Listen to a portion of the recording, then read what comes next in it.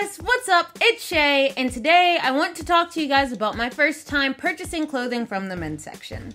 So, as you guys know, the last time I talked about shopping in the men's section was when my mom wouldn't let me buy that discount sweater. A lot has changed since then. Believe it or not, I took my mom shopping with me and I bought almost all men's clothing, and she saw why I prefer it that way. I have a very high waist and weird leg measurements that don't really work out for women's clothing. So I put on a pair of men's pants and she goes, Wow, those fit you better than the girls' pants. And I'm like, I know! Anyway, I'm gonna go back to the beginning. As you guys know, I work retail. I told you that in my last video. If you haven't seen that, feel free to check that out. But I work retail and we were running a 40% off employee appreciation sale. Now, we do have a women's section in my store, but all the clothes there are kind of like low cut, low, tight fitting, you know, I, and I am not really cool with that. Like, I prefer to dress comfortably, modestly, all that fun stuff. And I've been wanting to change up my style lately. So, buying something super preppy wasn't really a look I was going for. So, I walk into the store, and all of my coworkers are there, and they're like, Oh, hey, are you here to use your 40? And I'm like, Oh, yeah, yeah, that's what I'm here for. Uh, so, I pick up an Adidas shirt out of the women's section that I like. Then I meander over to the guy section. I'm a little nervous because, you know, I usually dress pretty feminine when I go to work. So they're all kind of like looking confused, like, what's she doing over there? But I pick up a couple t-shirts that I that I've been eyeballing for a while because graphic tees are graphic tees, right? No big deal. But then I go over to the men's joggers. You know, the pants with the drawstring and the tight ankle because I think they look cool. I like them. So I go over the, to the joggers and I pick up a couple pairs to try on. And at this point, a couple people are looking at me a little funny. Now, shopping is already incredibly difficult for me as a person who's recovered from anorexia. Like, having people look at me while I'm shopping is anxiety inducing.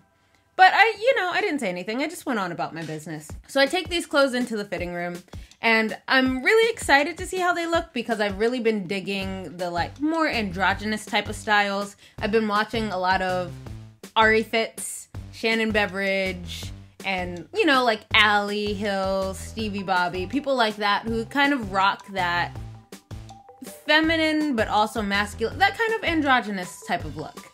I'm not trying to go full Ari Fitz because I don't think the world is ready for that. I just switch on them like that for one day and I don't have the eye for style like that. If I did, if anybody wants to hook me up and like make me a lookbook, I'd be totally open to that. But anywho, I went and tried on the clothes, and here are a couple pictures of those.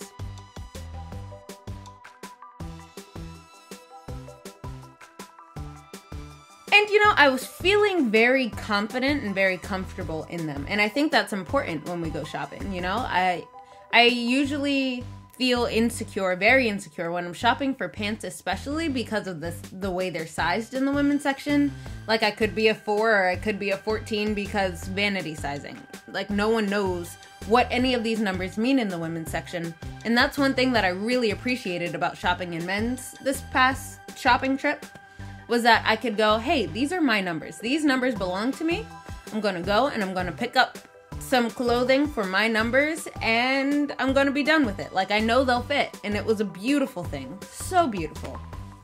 Anyway, so I tried on the clothes and I'm feeling pretty good. But now that I'm home, I'm not quite sure if they were exactly the aesthetic I was going for.